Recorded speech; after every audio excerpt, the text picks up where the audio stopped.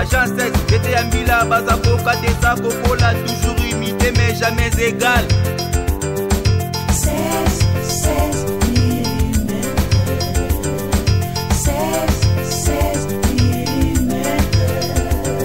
Réalisation, clip vidéo, théâtre et cinéma, publicité, documentaire,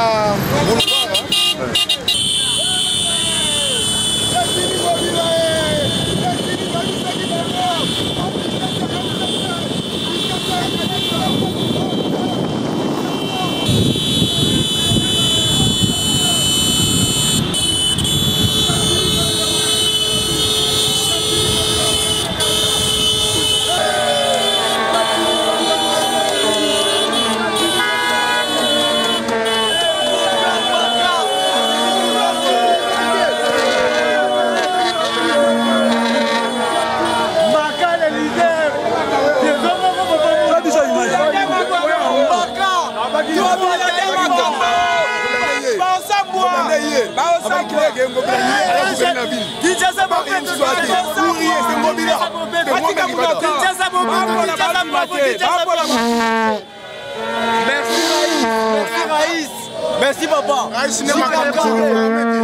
on n'avait pas. D'abord, je voudrais euh, remercier les honorables députés élus de Kinshasa qui ont voté la raison qui ont voté les changements, qui ont voté Kinshasa. La victoire revient à Kinshasa, la victoire revient à tous les Quinois, la victoire revient à Joseph Kabila Kabange. Et la victoire, si on ne le dit pas, ça serait hypocrite de notre part. Nous saluons également le président de la République, euh, pardon, euh, Félix Antoine euh, Tshisekedi, pour avoir permis que le ticket FCC Cash passe. Ngobila, c'est le changement. Ngobila, c'est Kinshasa Poto Ngobila, c'est la continuité. Ngobila, c'est la rupture avec euh, l'insalubrité, avec le Kuluna, avec le banditisme des riz. C'est fini, c'est fini.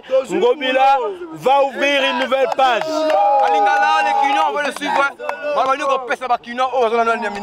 Victoire et Alléluia, ya bakinois nyonso kanga oyo eganye te kanga oyo eperdra te mpo ngobila aza banda abotama asangisaka victoire ya ngobila eza ya bana kinshasa victoire na ye ezongisi bana kinshasa nyonso na liboke moko victoire ya ngobila ezali oye kochange kinshasa kinshasa ezonga mboka mondele kinshasa ezonga propre kinshasa kulu na esila bato nyonso basoutenir ngobila awa na koprofite na félicité badepute provinciaux oyo bavote kinshasa kinshasa egal ngobila ndenge bavote ngobila bavote kinshasa bakozala desu te bino ba kinois oyo bovotaki badepute nationaux bozala na esengo bosalaki choix ya malamu badepute bovotaki bavote choix na bino kinshasa banda lelo salite ya buo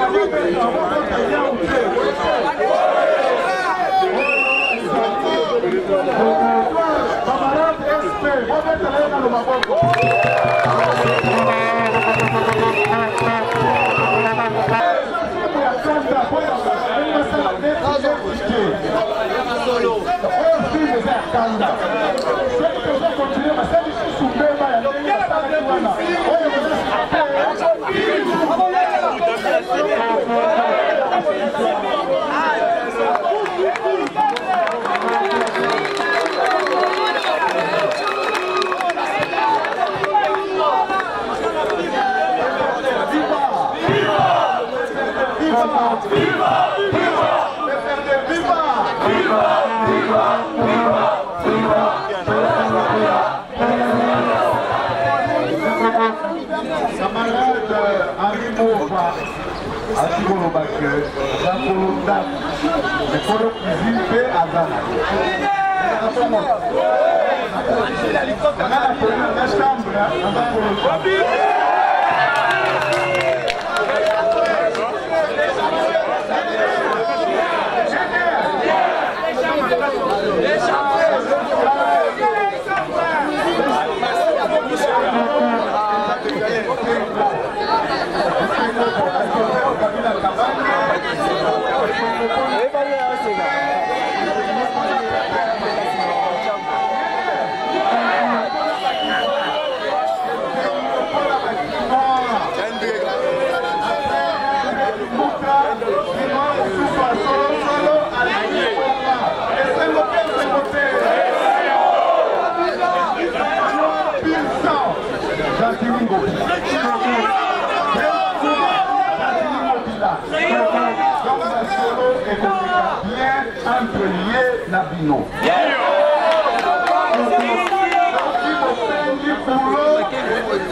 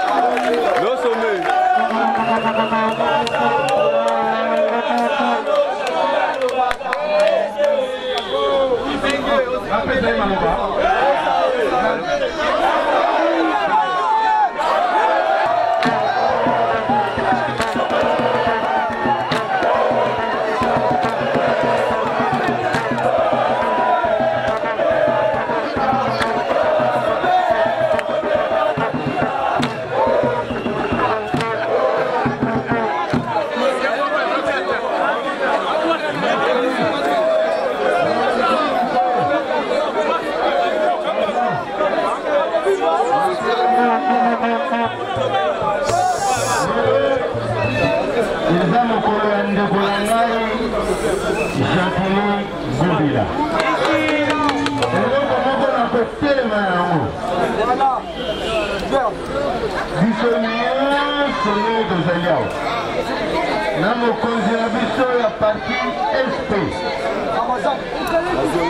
etumba oyo tobundi nango na kalite moko bana nanga malamu bomoko oyo tolakisi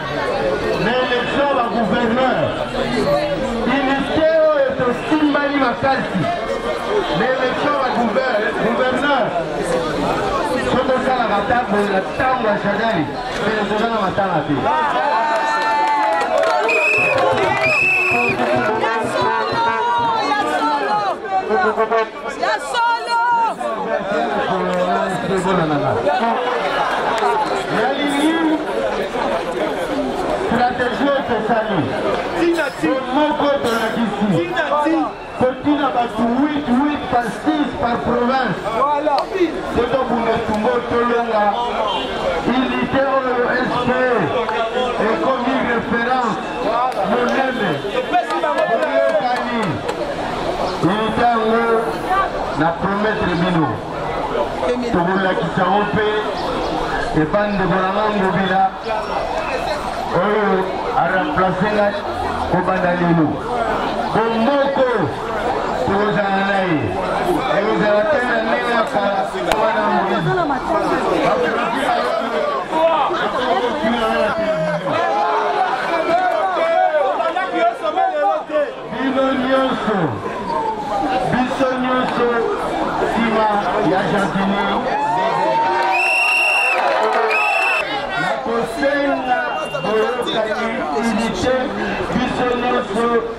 Sima ya ngobila. Po ngobila za mutu. Bongo. Iso to sima ya.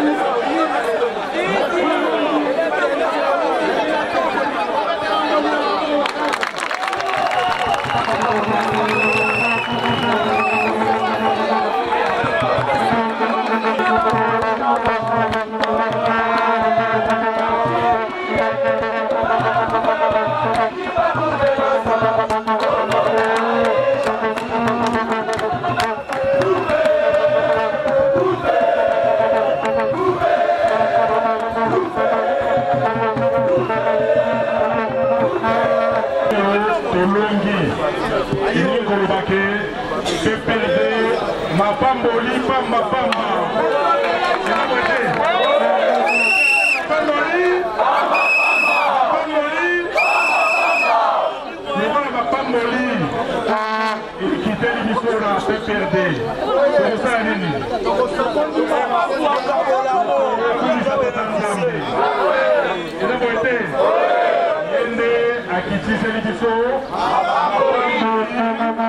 epai ya rais mapamboli ekiti epai ya sp eza boye te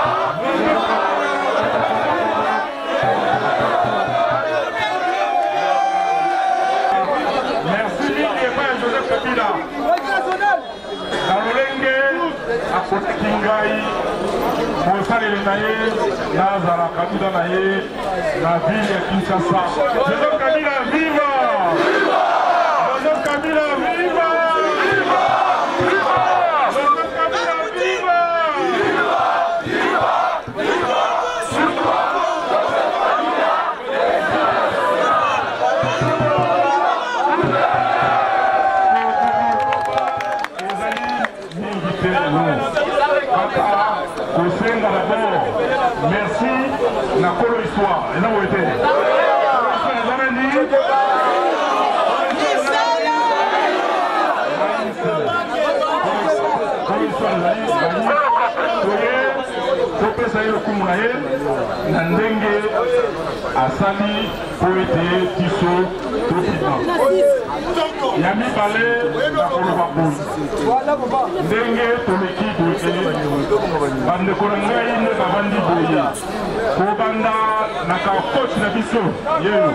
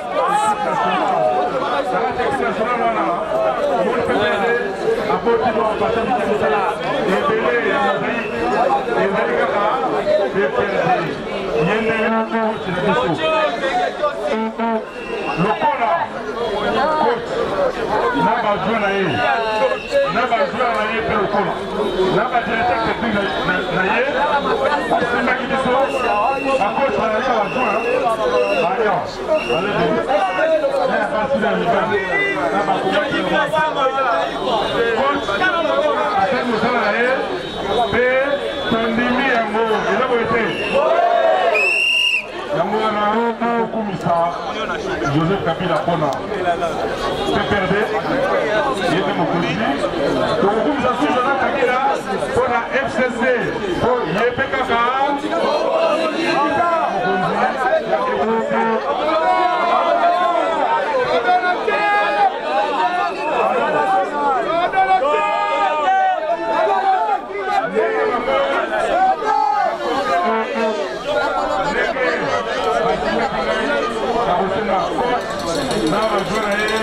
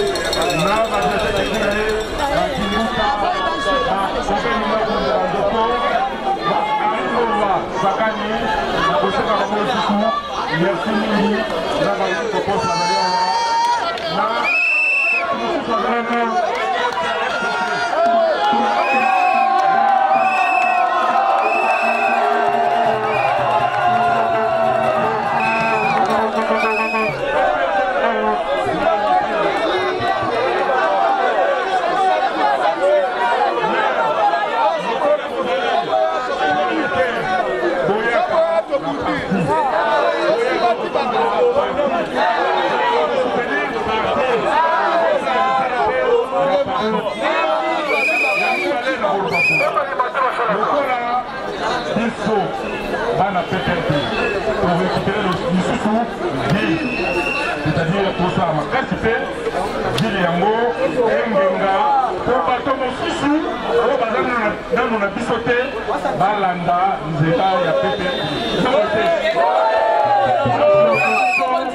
tolobaki kinshasa bopeto bopeto bopeto elingi koloba te kinshasa na biso engenga tobwaka bosoto tolongola salite yango wana banda lelo mosala ya bopeto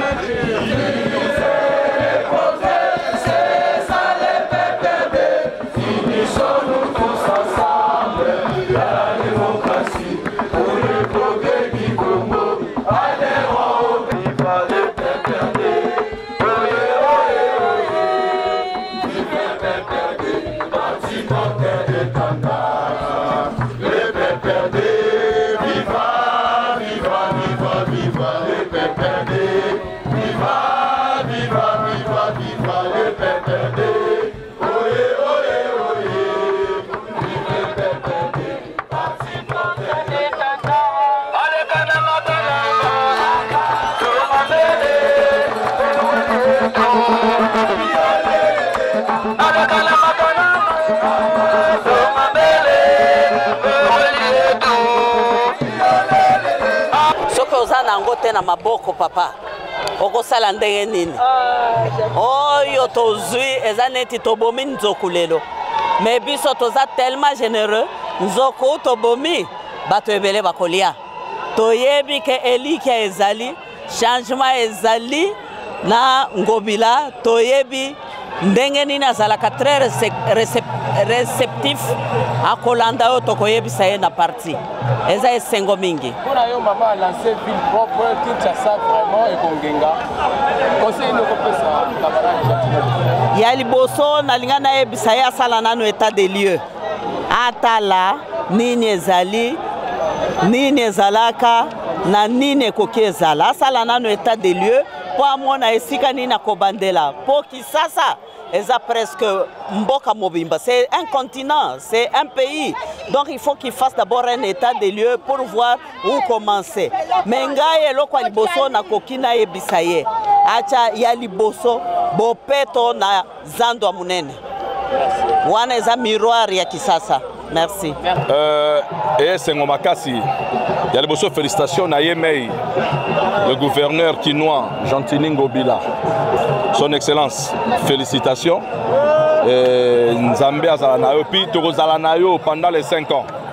ye aza moto ya bato ye ayokelaka bato ye asala o peuple alobi donc euh, zela tooma e eh, tolakisi ke choix wana eyaki ya pamba te eyaki choix ya solo donc vraiment félicitation na gentini ngobila euh, toza koremercier mokonzi ya mboka l'autorité morale ngai ben toujours le président de la république autorité morale tozo remercier ye euh, qui aime la paix prépare la guerre donc oyo nyonso ya bapréparatif ya 2023 bomwa déjà ne 2023 ekozala donc yango makambo esalama sikoyo donc bomwa nyonso toprépare 2023 toza kaka kodeboulonne l'autre là Aujourd'hui, c'est tout à fait normal que le pouvoir reste chez nous. Parce qu'en réalité, c'est nous qui savons très bien diriger même un parti politique. Vous allez remarquer dans plusieurs partis politiques, ils n'ont pas la même organisation que celle qui se retrouve ici au PPRD. Au sein du PPRD, il y a des structures qui sont très bien structurées et il y a une discipline du parti. Quand le mot d'ordre est donné, il est difficile que les gens aillent à l'encontre du mot d'ordre du chef. Donc c'était le mot d'ordre du FCC,